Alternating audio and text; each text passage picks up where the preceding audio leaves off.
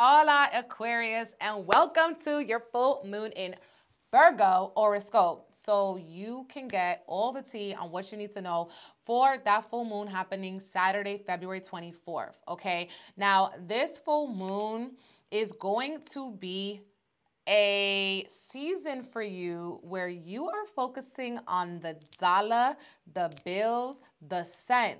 Do you feel okay? Pisces season is really about that bag, your finances, your resources, thinking of new ways to be innovative in your field. Now, this full moon could feel a little bit emotional for you guys, a little intense, all right? Because this full moon's really about transformation, getting you out your comfort zone. Some of you guys could be hearing full circle around certain like insurance claims that you filed or getting your life insurance together, getting your partner's life insurance together.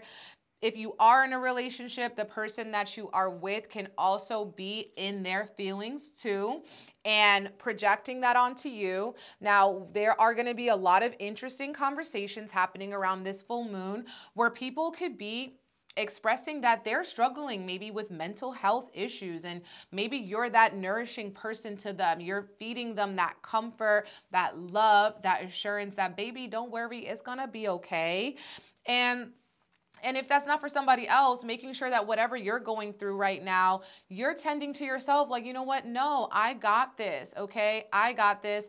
I'm going to be able to give my life a 180 to transform this one area of my life to handle these bureaucratic responsibilities. And, you know, it's kind of like RIP to the old me is what Aquarius is feeling.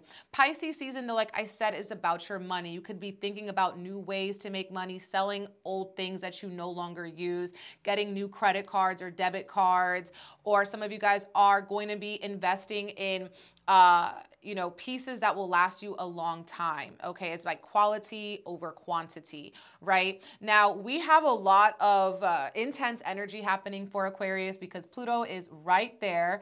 And we also have, you know, Mars and Venus together in your sign. So this could be making you a little bit more sexually magnetic and sexually appealing or just turning you on, you're turning your partners on, all of that fun passionate things.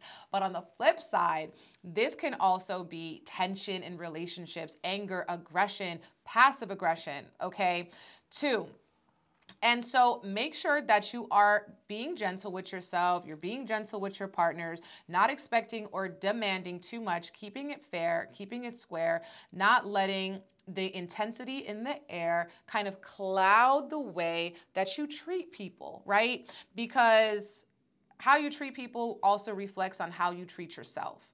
So munch and nibble on that, you guys. We have the death card with the emperor card. So it's like rebirth. Like I said, you guys are going through a rebirth, moon in the eighth house, right?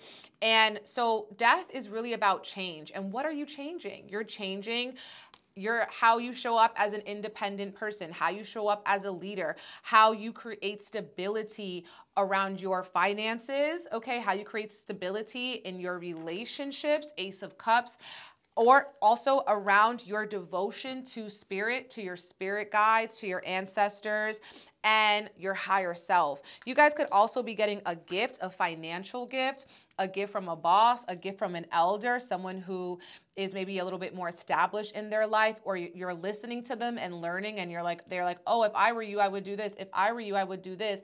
Not that you're taking their play by play and running with it, but a lot of times wisdom is more um how would we say experience is more wise than just learning in a book, okay? Sometimes people who've been around the block can tell you how to get to the end, okay? So listening to our elders, having those intimate conversations with people who are older and wiser is gonna be very beneficial to you guys. Being open to change, not staying stuck because our, our fixed signs are being called to evolve, to change, and it's going to be in an abundant and blessed way. And for some of you guys, it can be in developing a deeper relationship with your family, okay? So also, if you're interested in our full moon Reiki, detox, and detach happening on Saturday, secure your spot on my website, bigempressenergyllc.com. Bye.